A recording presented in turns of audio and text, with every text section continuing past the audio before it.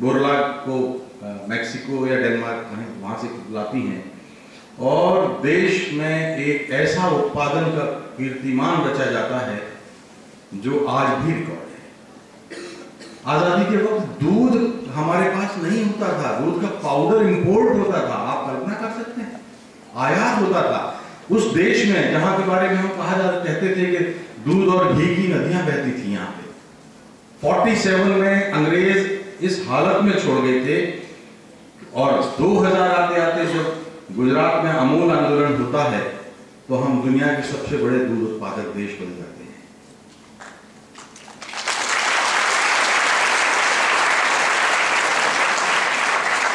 ये होता है योजना के आधार पर। और नेताओं, अगर आपके पास विजन नहीं है, अगर आपके पास दृष्टि नहीं है तो आप देश को आगे नहीं ले जा सकते।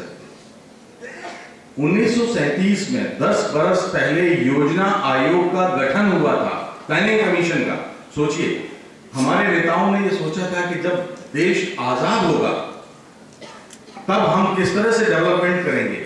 और नेताजी सुभाष चंद्र बोस कांग्रेस के अध्यक्ष थे और जवाहरलाल नेहरू उनके सचिव थे। तो उन्होंने नेहरू जी को निर्देश दिया कि आप भारत के विकास की आने वाले 50 वर्षों का एक खाका खींचिए। और जो रिपोर्ट नेहरू जी ने बनाई, वो रिपोर्ट उसके आधार पर देश 25 आज़ादी पाने के बाद 25 बरस तक आगे बढ़ता रहा। कृषि उत्पादन उसमें सबसे टॉप प्रायोरिटी पर था। आज हम किसानों की बात करते हैं, आत्महत्याओं की बात करते हैं, किसानों के मुद्दों की बात करते हैं, लेकिन उन्नीस से लेकर साठ तक का जो दौर था वो किसानों पर सबसे अधिक ध्यान दिया गया और इसीलिए अनाज उत्पादन में हम सबसे आगे आए। तो कहने का मतलब है कि एक नेतृत्व हमारा राजनीतिक नेतृत्व वो था जो हमको अंधेरे में रोशनी की किरण की तरह हम हमारे सामने था। आपको बताऊँ कै, कैसी हालत थी हमारी? अंग्रेज़ छोड़ के गए थे। 1835 में हमारा जो हमारी हमारा जो कॉटन था हमारा जो, क्योंकि विदर्भ आपका जो इलाका है, ये भी इलाका बहुत बड़ा कपड़ा उद्योग का बड़ा केंद्र रहा है, गढ़ रहा है, कपास गढ़ रहा है एक जमाने में। 1835 यानी करीब करीब पौने 200 साल पहले हमारे कपड़ों ने, हिंदुस्तान में बने कपड़ों ने पूरे यूरोप की इकोनॉमी चौपट कर दी थी। आपको पता है? और वहाँ संसदों में चर्चा होता था कि अगर हमारे कारखाने बैठ हिंदुस्तान का कपड़ा मंगाते रहे 1835 में एक गोरी मैम के पास एक रुमाल मिल गया जो भारत का बना हुआ था। उसको 80 पाउंड जुर्माना देना पड़ा था 1835 में। आप अंदाज़ा कर सकते हैं। तो हमारी और हमारे देश की मज़बूत हालत को किस तरह हमें कमज़ोर किया गया। ये एक लंबी षड्यंत्र की कहानी है। आज हमें वो एक अलग विषय है, कभी मैं आपको उसकी कहानी सुनाऊँगा। लेकिन जो मैं आपको बात कह रहा हूँ कि फिर क्या हुआ? अगर हम आज इस सभागार में, इस ऑडिटोरियम में इस बात पर चिंता कर रहे हैं कि लीडरशिप क्राइसिस है, अगर लीडरशिप क्राइसिस है तो वो क्या है? आज का नेता नेता बनने के लिए नेता बनता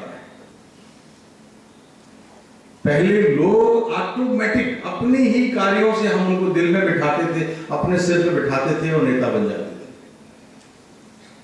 आज नहीं होता ऐसा। आज नेताओं को देख के कैसे होता है?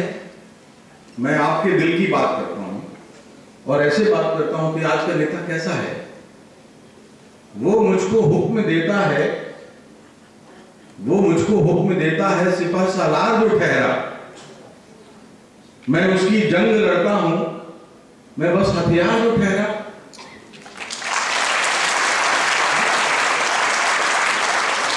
ये राजनेताओं और उनके साथ के लोगों का की तकलीफ़ और दर्द का की बयानी है। वो मुझको हुक्म देता है सिपह सालार जो ठहरा, मैं उसकी जंग लड़ता हूँ, मैं बस हथियार जो ठहरा, उसे हर शख्स को अपना बनाना खूब आता है, मगर वो खुद किसी का नहीं। होशियार जो कह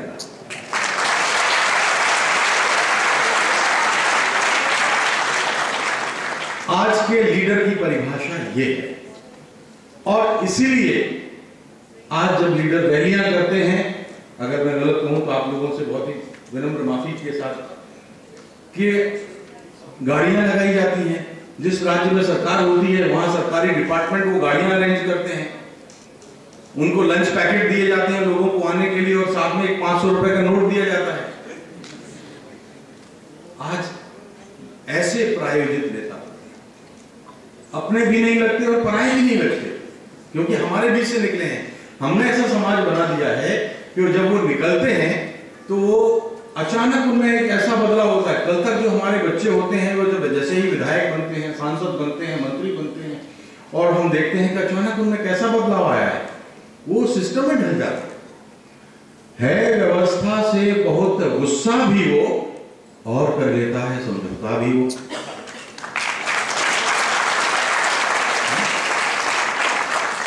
है व्यवस्था से बहुत गुस्सा भी हो, और कर लेता है, समझौता भी हो।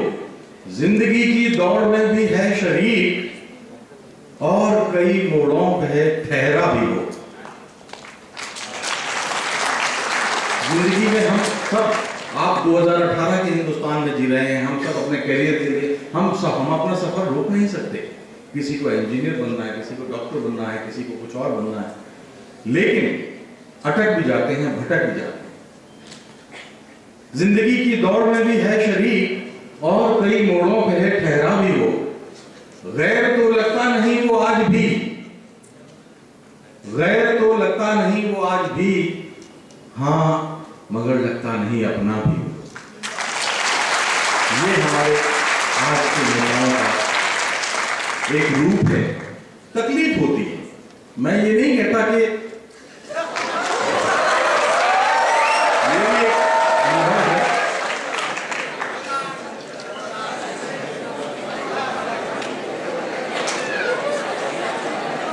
चलिए, मेरा ख्याल है, लेकिन माइक काम कर रहा है तो हम लोग बातें कर सकते हैं।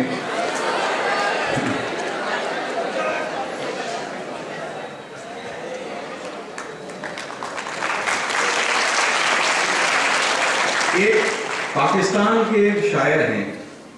उन्होंने आप आप में से हज करना सुना है आपने? जैसे हम लोग चार धाम करते हैं, उसी तरह से इस्लाम में हज की भी उतनी ही बड़ी पवित्र स्थान है लोगों का। और वहाँ एक रस्म होती है, शैतान को पत्थर मारने की। शैतान को पत्थर मारना यानी बुराई को प्रतीक के रूप में कि हमारे अंदर जो बुराइयाँ हैं, उसको पत्थर मार के खत्म कर रहे हैं। जैसे आप विजय, विजयदशमी जब मनाते हैं, दशहरा जब मनाते हैं तो रावण को एक बुराई के तौर पे हम देखते हैं कि खत्म करना है। तो उसके लिए उन्होंने लिखा कि हज अदा करने गया था, कौम का लीडर कोई। हज अदा करने गया था, कौम का लीडर कोई। संगवारी के लिए शैतान पर जाना पड़ा। संगवारी यानी वो पत्थर मारने की ज़रूरत, शैतान यानी बुराइयों, कुरीतियों। हमारे आपके अंदर जो मैल है, उस पर। संगवारी के लिए उसे शैतान पर जाना पड़ा। एक कंकर फेंकने पर ये सदा आई। सदा की आवाज़ आती है। एक पत्थर उसने फेंका। एक कंकर फेंकने पर ये सदा आई उसे। अरे तुम तो अपने आदमी थे, तुमको आखिर क्या हुआ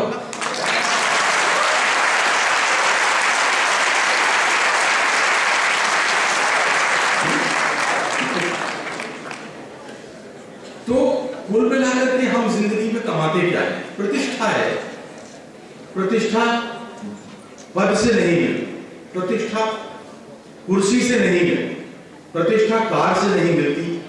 और प्रतिष्ठा वो होती है जो समाज के दिल और दिमाग से निकलती है। जब लोग आपको अपने सर पे बिठाते हैं, वो आपके काम होते हैं। आज अफसोस इसी बात का है कि जो नेता हैं, जो लीडर्स हैं, हमारा जो पॉलिटिकल सिस्टम है वो इस बात की ओर इंगित करता है कि कहीं ना कहीं कुछ गड़बड़ है। हम अगर इस यहाँ बैठ के चिंता कर रहे हैं तो इसका मतलब ये है कि हमारे लीडर्स लीडर्स के अंदर, हमारे नेताओं के अंदर ये धारणा बन गई, अजीब सा सामंतवाद। सामंतवाद आप समझते हैं? फ्यूडलिज्म समझते हैं? पहले नेता लोगों के लिए होते थे। अब उनकी उम्मीद होती है कि मैं मंत्री हूँ तो मैं लोग मेरे पैर छुए, मुझे गुलदस्ता भेंट करे, मैं नीचे यूँ मुड़ के देखूँ। है? ये कोई आया? जिस आज ही मैं खबर पढ़ रहा था कि किसी एक कोई कार्यक्रम नागपुर में हो रहा था कल, और वो हॉल की कुर्सियाँ खाली थी तो बड़े, जो राजनेता उसमें मौजूद थे, नाराज़ होकर चले गए। उस नाराज़ होकर चले गए। अरे, आपका आकर्षण होना चाहिए। महात्मा गांधी के लिए आपको पता है, उस दौर में ना इंटरनेट था ना मोबाइल था ना टेलीविज़न था ना अखबार थे ना ट्रेन थी ना फ़्लाइट थे और ये मालूम हो जाए कि महात्मा गांधी की सभा होने वाली है तो 40-40 किलोमीटर से दूर से लोग पैदल चल के आते थे पाँच बजे चार बजे सुबह निकलते थे पोटली बाँध के दोपहर के खाने की और देर रात तक पहुँचते थे। सत्तू बाँध के निकलते थे, गुड़ बाँध के निकलते थे, चपातियाँ रखते, निकलते थे। प्रेमचंद का नाम सुना है आप लोगों ने? मुंशी प्रेमचंद बहुत बड़े राइटर हुए हैं। और मुंशी प्रेमचंद की पत्नी जो थी, वो महात्मा गांधी की सभा सुनने के लिए गाँव गाँव से महिलाओं को जोड़ के 50 महिलाओं को और 25 किलोमीटर पैदल चल के गई ये होता है नेताओं का। और आज के नेता क्या कहते हैं? वो ये कहते हैं कि खुद, खुदा ने मुझको भेजा है हुकूमत के लिए। मैं समझता हूँ आवाम की ज़रूरत क्या है?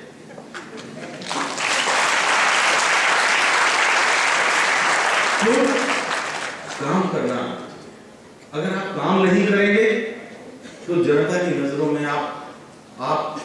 चुटकुलों से, हथकंडों से, आप चिमगोइयों से आप लोगों के दिलों में जगह नहीं बना सकते। काम केवल भाषण से, केवल नारेबाजी से, केवल झूठा बोल के, केवल शगुफा छोड़ के। अगर आप ज़िंदा रहना चाहेंगे तो माफ़ कीजिए इस देश का नौजवान इस देश का लोकतंत्र अब आपको मंजूर करने के लिए तैयार नहीं है, पहले कोई शगुफा उछाल दो फिर कर का बोझ कर यानी